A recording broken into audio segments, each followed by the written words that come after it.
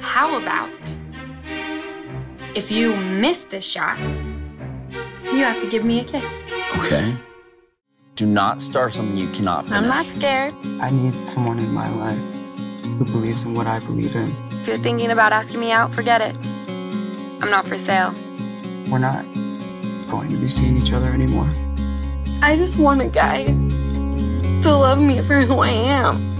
I just want to fit in and not feel like I'm someone's project.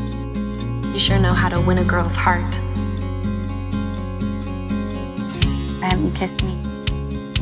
He won't kiss until he's found the perfect girl. What are you thinking about? I assure you, pure thoughts. Women are not my focus right now. It's baseball. I see a girl who's trying to change for the better, and then there's you who seems to think that this whole thing is a game.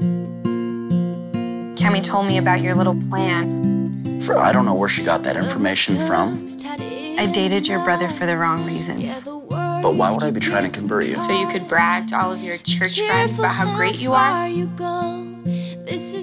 I really fell in love with you. Do you feel the same way about me? I'm going to play baseball, okay? There's nothing stopping me from doing that. Nothing at all. Her heart leans towards someone else, and I think you know who that is. I'm left with